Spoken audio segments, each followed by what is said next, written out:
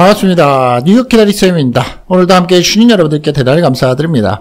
오늘은 여러분들과 우리가 살면서 정보, 미국에 살면서 특히 우리 한인분들이 미국인들보다 잘 이용을 하지 않고 있고 또 잘 모르는 프로그램, 그리고 우리 주변에서 쉽게 이용할 수 있음에도 불구하고 이것을 몰라서 낭패를 본다거나 더 많은 이자를 물고 있다거나 혹은 여기저기 빌리는 아쉬운 소리를 해야 되는 그런 시간들을 가지고 있는 이 프로그램에 대해서 한번 짚어볼까 합니다. 미국인들은 많이 이용을 하고 있고 비일비재하게 이용을 하고 있지만 한국인들은 잘 모르고 계시는 그 내용 HELOC이라고 합니다. HELOC이라고 들어보셨습니까? H-E-L-O-C 이 HELOC은 Home Equity Line of Credit의 약자입니다. 앞에 H-E LOC를 약어로 하면 헬록이라고 합니다. 헬록은 주택 소유자들에게 제공되는 유형의 대출 상품으로서 주택 소유자가 자신의 주택 자산을 담보로 해서 일정한 한도 내에서 돈을 빌릴 수 있는 신용 상품입니다. 쉽게 말해서 주택 소유자가 이미 집을 가지고 있고 소유하고 있고 자산에 있어서 주택 자산의 가치를 기본으로 해서 그 은행이나 금융기관으로부터 추가적인 자금을 빌릴 수 있는 방법을 제공합니다. 자, 이렇게 생각하시면 또 line of credit하고 또 second mortgage하고 뭐가 다르냐 또 이렇게 생각을 하실 수 있는 분들도 계실 테니까 영상 내용 끝까지 함께 해보시고요. 쉽게 말해서 주택 소유자가 이미 소유하고 있는 이 내용을 기반으로 한다. 이 HELOC. 일반적으로 회전형 신용 상품으로서 HELOC 계좌를 개설을 하면 주택 소유자는 정해진 한도 내에서 자금을 빌리고 상환을 할 수 있는 겁니다. 이때에 HELOC account, 즉 계좌에 남아있는 사용하지 않은 한도는 계속해서 재사용을 할 수 있습니다. HELOC의 금리, 이 금리는 보통 가변 금리로 책정이 되며 즉 이제 대출 상환과 시장 금리 변동에 따라 변동할 수 있는 변동금리다라고 이해를 하시면 됩니다. 헬록은 주택 개런티 대출, 즉 홈 에퀴티 론과는 구별이 됩니다. 똑같은 게 아니라는 소리죠. 주택 개런티 대출은 한번 대출을 받고 고정된 금액을 정해진 기간 동안 갚아야 하는 반면에 헬록은 한도 내에서 자유롭게 자금을 빌려 쓰고 갚고 빌려 쓰고 갚고 할 수 있는 유연성이 있는 겁니다. 헬록을 사용하는 목적 물론 이제 집집마다 다 다르고 용도와 기간에 따라서 다르게 사용을 하겠지만 미국인들 같은 경우에는 보통 보면 주택 리모델링, 오래된 집들을 재건축하거나 보수를 하거나 수리를 할 때, 다른 대출을 받은 것을 대출 상환을 할 때, 그리고 이제 대학을 가면서 비, student에 들어가는 교육비에 있어서의 비용 등 다양한 목적으로 사용을 하거나 활용을 할 수 있습니다. 그러나 주택 자산을 담보로 하기 때문에 신중하게 사용을 해야 하며 상환 능력을 고려해서 뭐 우리가 일반적으로 credit card를 음, 쓰는 거나 똑같은 개념이죠. 내가 갚을 수 있는 능력을 고려해서 측정된 한도 내에서 갚을 수 있는 능력이 되는 만큼만 사용하는 것이 중요하겠죠.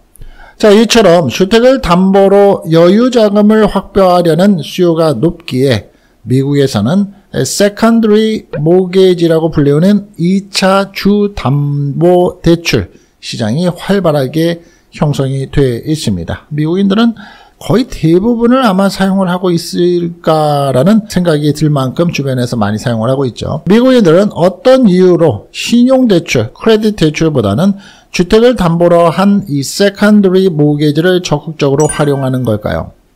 secondary mortgage가 큰 인기를 끄는 이유는 바로 이자가 낮기 때문입니다. 저리로 많은 금액을 빌릴 수 있기 때문입니다. 우리가 아, 보통 신용대출인 경우에는 금리가 10%가 넘죠. 훨씬 넘습니다.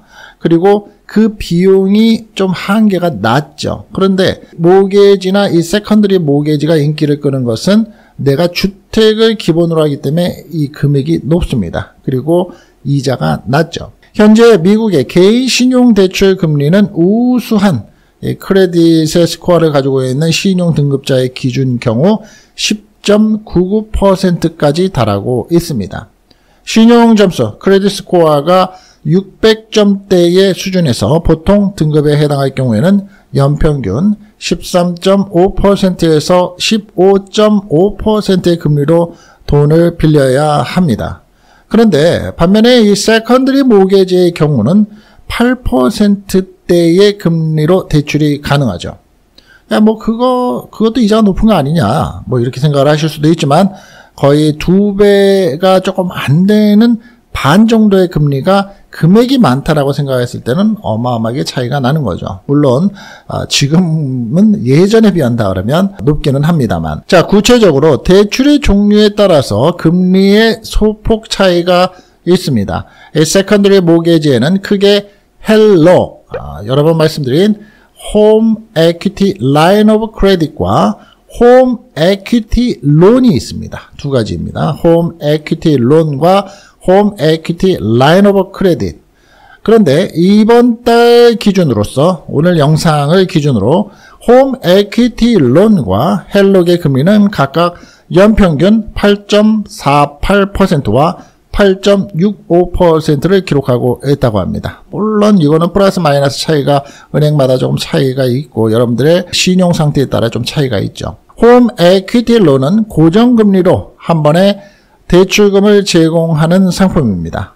그런데 반면에 헬록은 변동금리의 상품으로서 본인이 대출을 상환하면서 쌓은 자산 가치를 담보로 필요한 만큼 현금을 빌려주는 상품이죠. 크게 다른 거죠. 고정금리냐 변동금리냐. 홈 에퀴티로는 고정금리 반면에 헬록은 변동금리. 헬록을 통해서 인출한 현금은 자금 용도의 구애를 받지 않고 현재 쓸 수 있는 내 마음대로 쓸 수 있는 특징이 있습니다.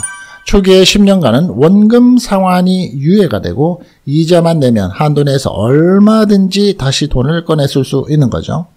전액 상환을 할 경우에는 다시 대출할 수 있는 한도가 당연히 늘어납니다. 마치 우리가 쓸 수 있는 신용카드, 크레딧 카드 같은 개념이다 라고 보시면 됩니다. 따라서 비슷한 것 같지만 이 헬록과 또 여러분들이 많이 사용하고 계시는 홈 에퀴티 론과는 차이가 다른 개념이 많습니다. 자, 그렇다면 제목에서 본 것처럼 그럼 미국인들이 헬록을 많이 사용하는 이유가 무엇일까요? 한번 짚어보죠. 헬록은 주택 소유자들에게 매력적인 대출 옵션으로 여겨지고 있습니다. 주로 다음 예를 들어 드리는 이유로 인기를 끌고 있는데요. 첫 번째는 주택 개런티 대출 대안으로 사용을 하고 있다고 합니다. 주택 개런티 대출 대안. 헬록은 주택 소유자들에게 주택 자산을 담보로 대출을 받을 수 있는 또 다른 대안을 제공합니다. 주택 개런티 대출은 한 번에 정해진 금액을 대출받아 상환을 해야 하지만 헬록은 한도 내에서 유연하게 자금을 빌려 사용할 수 있고 또 갚을 수 있어서 자금 활용도 면에 있어서 더 편의성이 있다라고 볼 수 있는 겁니다. 또한 두 번째로는 금리가 상대적으로 낮습니다. 헬록의 금리는 대개 주택담보대출의 금리보다 상대적으로 낮은 편입니다. 이것은 헬록이 주택을 담보로 하기 때문에 은행이나 금융기관에 더 안정적인 대출로 간주가 되기 때문입니다. 세 번째로는 헬록은 다양한 용도로 사용이 가능합니다. 헬록으로 대출을 받은 자금은 주택 개런티 대출과 마찬가지로 자유롭게 사용할 수 있다는 게 큰 장점이죠. 앞서 말씀드린 것처럼 주택 리모델링, 대출 상환, 높은 이율의 다른 부채 통합, 교육 비용 등 다양한 목적으로 사용을 하고 활용을 할 수 있습니다. 그 다음으로는 세제, 이 세금의 우대 혜택을 받을 수 있다고 합니다. 미국에서는 헬록의 이자 지급에 대해서 일부 세제 혜택을 받을 수 있는 경우가 있습니다. 하지만 2018년의 세제 개혁 이후에는 이와 관련된 세제 혜택의 일부가 좀 다소 제한이 되어 있기는 합니다. 그래도 여전히 세제 혜택을 받을 수 있는 경우도 있으므로 이를 고려해 볼 만하다라고 라고 전문가들은 얘기합니다. 다음으로는 유동성과 재사용이 가능하다라는 게 장점입니다. 헬록은 회전형 신용 상품으로서 사용하지 않은 한도를 계속해서 재사용할 수 있습니다. 마치 크레딧 카드 사용하듯이 말입니다. 자, 이것은 금융적 유동성을 높여준과 동시에 예기치 않은 비상 상황이나 경제적 필요에 따르게 따라서 빠르게 대응할 수 있는 장점, 쉽게 받을 수 있기 때문이죠. 장점을 제공합니다. 그렇지만 주택 자산을 담보로 하기 때문에 헬록을 사용할 때에는 아주 신중하게 상환 계획을 세우고 못 갚으면 집이 날아가는 거니까요. 책정된 한도를 초과해서 사용하지 않도록 주의를 해야 합니다. 똑같습니다. 신용카드하고. 자, 그렇다면 한인들보다 오랜 동안 미국에 살고 있는 미국인들은 이 헬록에 대해서 어떻게 사용을 하고 있을까요? 현재 주택 가격 많이 올랐죠. 그리고 그에 대한 자산 가치도 많이 늘었습니다. 따라서 이 미국인들은 가장 많이 사용하고 있는 것이 이 학 최근에 이 팬데믹 이후에 있어서는 생활비의 확보에 의한 그 수단으로서 많이 사용을 하고 있다라는 분위기입니다. 외국인들은 헬록이 신용대출에 비해서 낮은 금리가 낮다라는 장점을 이용해서 주택 리모델링을 하거나 예상치 못한 생활비의 지출, 병원비 지출 등이 생겼을 때 이를 적극 활용하고 있는 겁니다.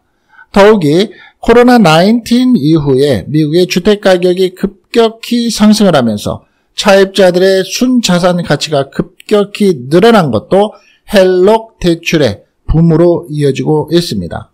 자산 가치가 늘어나면서 헬록을 통해 현금을 확보해서 이를 생활비나 투자에 활용하려는 이들이 증가하고 있는 겁니다. 주택담보대출 금리가 급등한 것도 헬록 열풍에 불을 지피고 있다라고 볼 수 있습니다. 그간에 미국인들은 여유 자금을 확보해서 사용을 하고 활용해야 할 경우 홈 에퀴티 론이나 헬록과 같은 2차 추가 대출보다 대환 대출을 더 적극적으로 활용을 하고 와 있었고 활용을 하고 있었는데요. 주택을 이 바잉할 당시에 받았던 1차 주담보 대출보다 더 큰 규모의 융자를 새롭게 받아서 기존 대출을 상환하고 차액을 여윳돈으로 챙기고 있었던 겁니다. 이해가 되시죠? 주택 가격이 올랐기 때문에 그렇게 할 수 있는 가능성이 되는 거죠. 이렇게 대출을 갈아타기 위를 통해서 차액을 챙기는 전략을 이른바 cash-out refinance라고 합니다. cash-out refinance. 우리 한인분들은 참 많이 모르시는 부분 중에 하나일 텐데요. 저금리 시기에는 이러한 전략으로 많은 현금을 확보할 수 있었습니다. 그러나 최근에는 미국의 주담보대출의 금리가 고공행진을 하면서 재융자를 통해서 얻을 수 있는 여유자금이 줄어들게 됐습니다. 이번 달 30년 고정금리 주택담보대출의 금리는 6.81%를 기록하고 있습니다. 플러스 마이너스 물론 있습니다. 올해 최고치를 기록하고 있고 작년에 7월의 금리는 5.3%였는데 더큰 규모의 대출로 갈아탈 경우에 상환해야 할 이자 부담이 매우 커진 겁니다. 이에 따라서 주택을 담보로 필요한 만큼만 돈을 빼쓰는 이 헬록, 이 헬록이 더 효율적인 현금 확보 전략으로 자리 잡기 시작을 한 겁니다. 최근에 블룸버그에서는 주택 가격이 급등을 하면서 자산이 불어난 한 부부가 헬록으로 여윳돈을 마련하는 사례가 소개가 되기도 하고 또 이에 대한 방송이 되기도 하고 있습니다. 텍사스에 거주하고 있는 한 부부는 2018년 56만 달러를 주고 샀던 집이 100만 달러로 오르면서 HELOC을 통해 23만 달러를 인출했다고 합니다. 이 부부는 이 돈으로 임대를 내준 집을 수리하고 아이들의 학자금까지 냈다고 합니다. 자, 그러면 이 HELOC은 home equity line of credit은 좋은 점만 가지고 있을까요? 많은 장점을 가지고 있습니다. 말씀드린 것처럼. 하지만 이것도 문제점은 있습니다. 이러한 문제점을 고려해서 헬록을 사용할 때 신중한 판단을 하시고 필요하신 부분만큼 이용을 하신다 그러면 우리 한인분들도 돈에 있어서의 유용성, 활용도가 분명히 높아질 겁니다. 첫 번째로는 주택 가치가 하락을 할 경우에는 좀 위험이 있습니다. 헬록은 주택 자산을 담보로 하기 때문에 주택 가치의 하락의 위험이 있습니다. 만약에 주택 가치가 하락을 하게 되면 헬록의 한도 내에서 대출받은 금액이 주택 가치보다 높아질 수 있기 때문입니다. 이로 인해서 대출 상환에 어려움이 있을 수 있겠죠. 다음으로는 금리 변동성에 대한 부분입니다. 헬록의 대부분은 이 변동 금리로 책정이 된다고 말씀을 드렸죠. 따라서 시장 금리 변동에 따라 이자율이 변동할 수가 있기 때문입니다. 금리 상승으로 인해서 월 상환액이 증가할 수 있으며 이로 인해서 상환 부담이 증가할 수 있는 겁니다. 다음으로는 이 빚더미에 앉을 수 있는 위험이 있습니다. 헬록은 유연성이 높기 때문에 일정한 상환 계획을 갖추지 않고 계속해서 재사용하고 재사용하고 하면 이 빚더미가 빠르게 사용할 수 있는 겁니다. 우리 크레딧 카드하고 똑같다고 생각하시면 된다고 여러 번 말씀을 드렸죠. 빚더미가 쌓이면 상환 어려움이 생길 수 있고 심각한 경우에는 금융 위기로 이어질 수도 있기 때문입니다. 다음으로는 대출 기간에 한계가 있습니다. 헬록은 일정 기간 동안 보통 일반적으로는 5년에서 10년 동안은 자금을 빌릴 수 있지만 이 기간이 끝나면 남은 잔액은 반드시 일시 상환을 해야 되기 때문입니다. 이로 인해서 대출 기간이 끝난 후에도 갑작스럽게 큰 금액, 아주 남아있는 큰 금액을 상환해야 하는 큰 위험 부담도 있을 수 있기 때문입니다. 자, 다음으로는 사용 목적을 생각하실 때에 신중하게 고려를 하실 필요가 있다 라고 봅니다. 헬록으로 대출받은 자금은 주택 개런티 대출과는 마찬가지로 주택 자산을 담보로 하기 때문에 신중하게 사용을 하지만 된다는 겁니다. 앞서 말씀드린 것처럼 만약에 못 갚는다, 집이 넘어가는 거죠.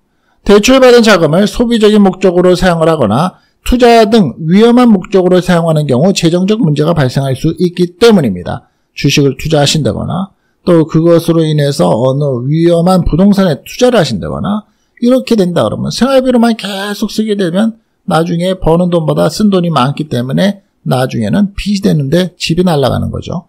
이러한 문제점들을 생각하고 헬럭을 사용할 때는 고려해야 할 중요한 부분입니다. 하지만 헬록을 이용하려는 경우 개인의 재정 상태와 상환 능력을 충분히 고려하고 신중한 계획을 세운다면 분명히 장점도 많습니다. 이러한 경우 필요한 경우가 있으시다면 주변에서 금융 전문가 또 은행을 상담하시거나 타 대출 상품과 비교를 했어서 분석하신 다음에 가장 적합한 선택을 하시면 도움이 될 듯 합니다. 앞서 말씀드린 것처럼 미국인들은 너도 나도 참 많이도 사용하고 있는 이 HELOC home equity line of credit에 대해서 알아봤습니다. 우리 시청자분들 뉴욕 기다리쌤을 사랑해 주시고 늘 함께 해 주신 오래된 우리 시청자분들께서 혹시라도 어려움이 있으시거나 혹시라도 지금 필요한 점이 있으시다면 이 헬로이라는 부분 한번 알아두시고요. 언젠가 필요하시다면 전문가와 상의를 하셔서 쉽게 받으셔서 여유돈, 여유자금 혹은 나의 지금 어려운 일들의 해결을 하실 수 있는 부분으로 충분히 가치 있게 알아두시기를 바랍니다. 도움 되셨습니까? 꼭 도움 되시기를 바라고요. 혹시 주변에서 어려움이 있으신 분들이 있으시다면 제 영상 함께 이런 영상도 있더라라고 홍보도 해주시고 알려주시면 도움이 서로 공유되겠죠. 자, 늘 건강하시고요. 더위 조심하시고요. 오늘 날짜의 영상은 오늘 날짜의 기준으로 말씀드렸다는 점도 참고가 꼭 되시기 바랍니다. 다음 시간에 더 좋은 영상으로 찾아뵙겠습니다. 뉴욕 기다리 쌤이었습니다. 감사합니다.